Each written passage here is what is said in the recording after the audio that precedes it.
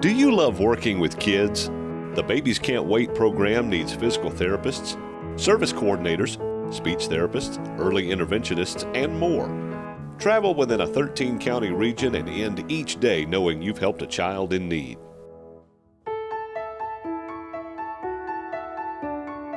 For more details, visit nchd52.org/jobs.